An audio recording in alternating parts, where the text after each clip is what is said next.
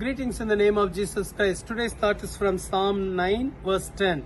Psalm 9, verse 10. And those who know your name will put their trust in you. For you, Lord, have not forsaken those who seek you. Here the Bible says, if someone seeks the Lord, the Lord will never forsake them. David experienced this blessing in his life. In his life, his own son turned against him. His own wife did not support him. He spoke against him. There was a time people left him. The people, those who trusted, they left him. His own family people forsook him.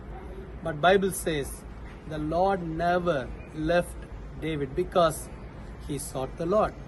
You are also seeking God. So God will never leave you. Maybe your own friends, your family, maybe they forsake you, but Jesus will never forsake you. He is with you, He will be with you.